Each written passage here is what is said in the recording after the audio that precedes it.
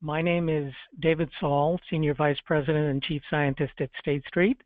And today I'm going to talk about semantic data standards and specifically a proof of concept that State Street has underway to look at the financial industry business ontology as part of our overall data governance program.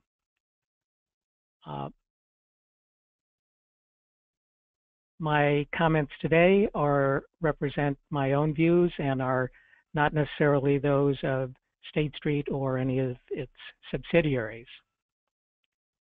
I'd like to go back to uh, the agenda. I'm going to start with an introduction of uh, some material that you may already be familiar with, uh, the financial crisis of 2008, which I'm going to assert was primarily a crisis for lack of data and understanding of that data.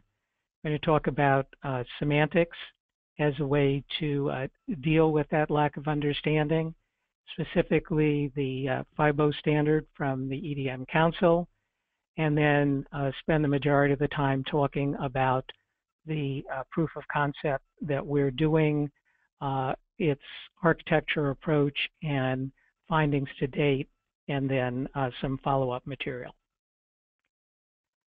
the essential question is, as an organization, do you know where your data is? The data that's important to the management and operation of your organization, what it means, how to use it best, how to comply with regulations. Example we had back in 2008, uh, the general belief was that there was this thing, the financial economy, several large organizations uh, exchanged information and transactions with one another, and that really had uh, no impact on the general public and, and the larger uh, real economy. Uh, what we discovered in 2008 was that was not true at all. The financial economy had many more players. There was a much higher degree of interconnectedness than uh, anyone thought. And there were organizations uh, beyond the financial industry that were engaged in this. But um, most significantly, uh, when we had the financial crisis, it was not restricted just to those financial organizations. It had impact on the real economy, on uh, jobs, and uh, real people. One way of dealing with this is if we think of every financial transaction as a contract today, and hopefully uh, it doesn't look like the picture on the far left, uh, contracts are uh, to, to a large extent still only expressed in paper or if they're in machine readable form, they're just a representation of that paper. They lack precision. There's a high degree of manual intervention required, and most importantly, uh, the lack of understanding of what the terms, conditions, and data of those contracts mean. Uh, what we're trying to move to is a future state, which we're calling smart contracts, where we have a degree of data transparency.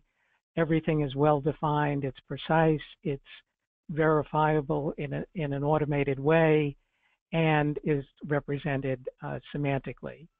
And uh, at the bottom of the slide, you see a brief definition of, of what a smart contract is, representing uh, standardization, the ability to be executed, and precise definition.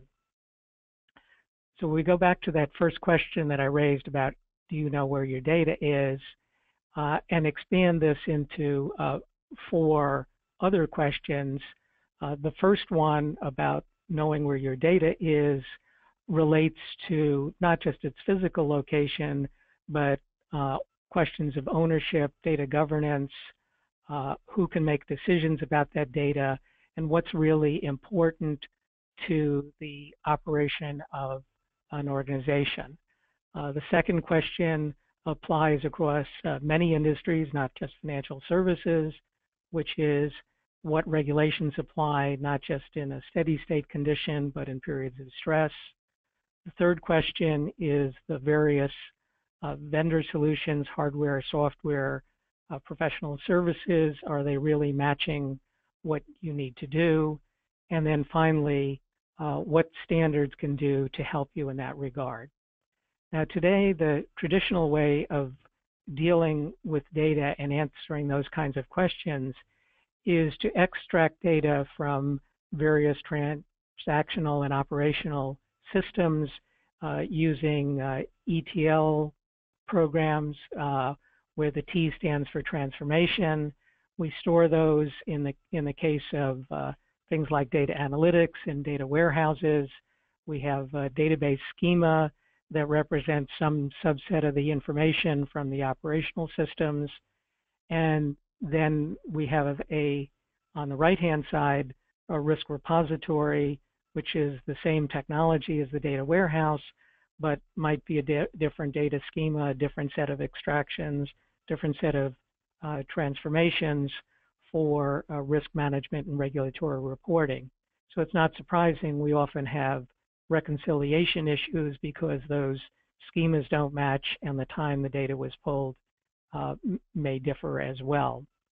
So the challenge is uh, organizations want to create value from their existing data assets. They recognize that data is an asset, it can be used and monetized, and at the same time as the scope and uh, complexity of risk management and regulatory increases, they have to meet all of those mandates. How do they do both of those at the same time at a reasonable cost? And the answer to that is semantic data standards.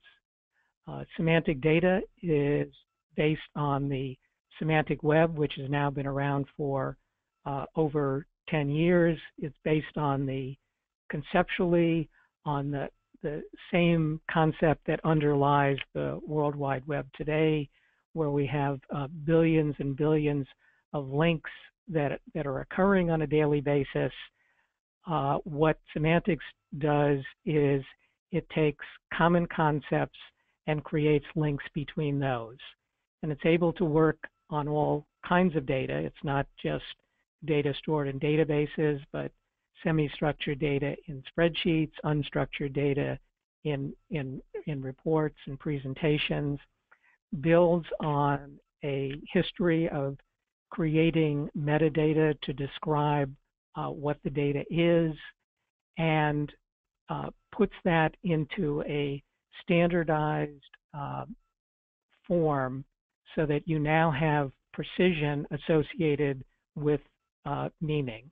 And if you find the name of a particular company like State Street uh, and it's it's abbreviated or spelled differently or has corporation added on to it and it's in different uh, technologies, as human beings, we can understand conceptually that that means the same thing what semantic technology does is it creates uh, a machine readable and precise way of linking those together. The uh, legal entity identi identifier or LEI, probably the best example of that.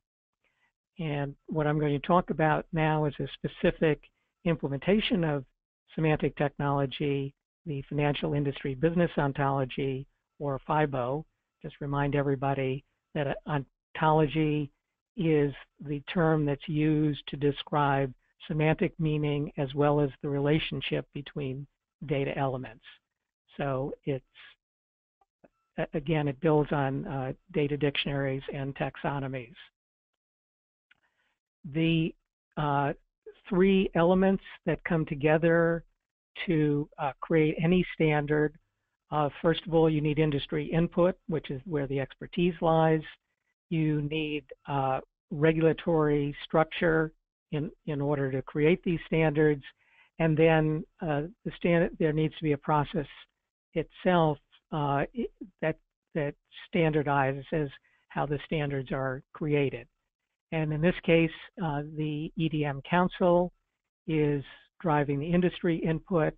We have uh, multiple regulators who are interested in the financial industry in the case of FIBO, it's the uh, OMG or Object Management Group process that's used for standardization.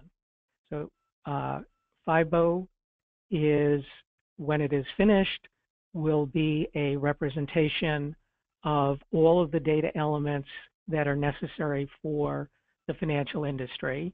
And I should mention that other industries are creating their own ontologies that uh, they can use to standardize interchange of information. So an example here, another example here would be in the biotech industry for standardization of ontologies for uh, drug testing. Uh, this chart, uh, courtesy of Mike Bennett from EDM Council, gives you a high-level view of the various elements, uh, and the color coding is associated with, with their status uh, in the standardization process. So what would an ontology look like? And here's an example. Uh, this is uh, courtesy of uh, colleague David Newman from Wells Fargo Bank, who one of the major contributors to FIBO. What you see here is a graphical representation of an interest rate swap with the various elements in it. So remember, an ontology is the semantic meaning and relationship. So a graph is a very good way of showing both of those simultaneously. So now you can see the elements as, as well as the relationship to one another. What you, the swap you have here, the, the two legs of the swap are represented graphically. Another way in which ontologies are frequently represented is in uh, tabular form. So let's get on to the uh, State Street proof of concept, which, uh, which has uh, been underway. So uh, what I'm going to report to you on is work in progress. Uh, the purpose of it was to see if we could take the portions of FIBO that have been defined to date and standardized to harmonize derivative and uh, corporate entity data across uh, actual real data from one of our transactional operational systems. And then once we saw whether FIBO uh, was complete and correct, whether that gave us a leg up on uh, reporting and analytics, as well as uh, looking at elements for risk management. So going back to that synergy that I described on an earlier slide. Uh, the approach we took was to take real data, no, no transformation of the data was done at all. Uh, it was extracted directly from a, uh, an operational system, and we used a, a platform uh, that is, is one of multiples available to store that ontology uh, and, and the data in, a, a in itself in a, a standardized form and seeing whether we could do this quickly and it would create an environment where uh, business users and risk management people could very quickly, without any coding, uh, look at that data, gain, gain insights into it.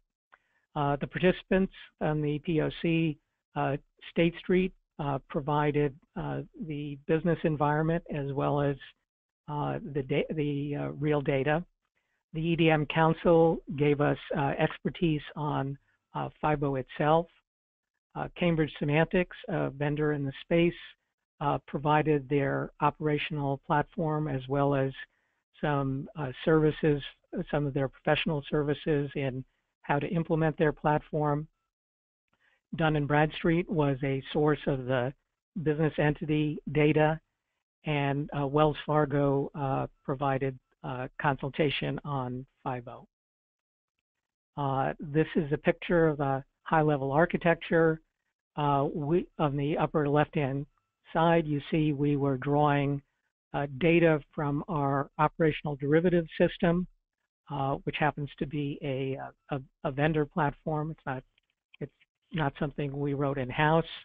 In lower left-hand corner, Dun & Bradstreet uh, provided their entity and corporate hierarchy data.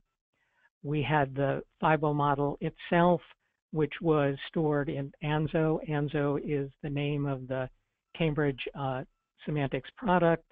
And then on the right-hand side, uh, various outputs. we went through four uh, stages. Well, to date, we've gone through four stages in, in the POC.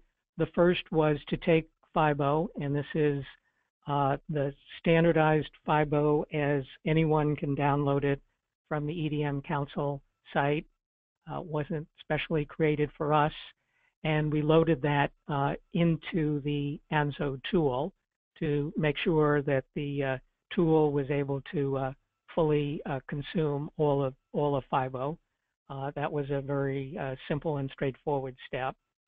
the next step was to take this completely unmodified data from our derivative system and map that uh, against FIBO. So this this was really uh, was there uh, did did was FIBO able to map uh, every data element that we had uh, loaded into it, and uh, to date we we we started with a small subset, but to date we've had several thousand transactions that we've been able to map against FIBO. Uh, again, that was uh, relatively straightforward, but I'll, I'll talk about uh, next slide on the findings. Uh, we were new to FIBO, so uh, the consulting expertise from uh, the EDM Council came in very handy here. Okay, the next step was really automatic. The now that the data was was loaded, the tool was was able to uh, take that data, classify it, uh, sort it by uh, type of element as defined in the in the FIBO ontology. So if we wanted to look at the data based on its corporate entity or geography or currency, uh, all, all of those things came out um, in, in, in a very straightforward way. And then we've just gotten started with now taking that data, can we can we do things to create some simple graphics, uh, heat maps, pie charts, and and the like that would be useful uh, to business analysts. Let me let me tell you about the findings and and what we found out so far. Uh, the FIBO model works. Uh, it is uh, complete uh, mapping it against operational data is uh, is is quite simple. Uh, in particular, looking at uh, legacy data sources uh, because we had different technologies for the uh, derivatives data as well as the data coming from DNB. it it did did that with with no issues at all. And in fact, we did this in two steps. We did it uh, first with the data, and then we added the Dun and Bradstreet data, uh, and we didn't we didn't have to do anything to make any changes. So once you've mapped data against FIBO, you don't need to map it a second time. Uh, the main challenge we found is that uh, FIBO, even for the subset that we were dealing with of interest rate swaps. Uh, it, it, it is mostly intuitive, but uh, th there's a lot in it and there is a, a, a, learning curve. So we had the advantage of being able to get our questions answered very, very quickly. Uh, if someone was approaching this with without that, uh, they they would need some some some education, some training, and allow some time to become uh, familiar with, with FIBO. Uh, while we weren't uh, in particular, and, uh, and, and I'm not recommending one vendor over another, uh, we did find that this particular platform, Anzo, uh, worked well for us. It, uh, it, it performed as, as advertised. the mapping both of the FIBO model and then of the operational data uh, were uh, really very uh, straightforward processes, and we didn't have any issues with that. Um, and then finally, the, the last point bullet on this slide is that um, while we were looking at FIBO for this particular set of use, uh, in terms of next steps, the insights that business users and, and risk management professionals are going to be able to gain uh, can be very helpful in an overall data governance program. So really getting at that question I asked at the beginning of do where your data is. Uh, this this is really uh, my my next to last slide. I'm not going to spend a lot of time on this, uh, but the point here is that by using semantic standards and FIBO in particular, uh, multiple constituents are able to uh, each benefit uh, in their in their own way, and through greater transparency of this financial data, we're improving the overall trust in the financial system. And again, going back to the beginning, uh, this is something that we lost in 2008, and we're we're still trying to regain because people uh, don't understand it. So, uh, financial services companies like ourselves benefit. Uh, regular regulators benefit because they have more transparent access to the data and they're better able to integrate it. Uh, product and service providers uh, have a better set of requirements for what uh, software and services they should build, and the standards organizations are, are doing their job of creating industry standards. Uh, this next slide just has some quotes from some of the various participants in the in, in the in the study that reinforces the point that this has uh, multiple beneficiaries. And my last slide is if uh, if you if you find this valuable and you're interested doing something like this yourself, uh, take a look at it in the context of a larger data discovery and data governance program. Uh, understand which requirements from the regulators you're you're trying to match up to. Uh, create a heat map of your existing IT, hardware, software, professional services, consulting solutions to make sure they match your requirements. And then if you want to become part of the future of FIBO or or really any semantic standard, uh, you you should uh, put your hand up because these organizations uh, are volunteer uh, volunteers bringing their expertise, and uh, the the better the expertise, the better the standard. And then finally, here are further contacts from the various participants in the POC if you need more information. And thank you for your time today.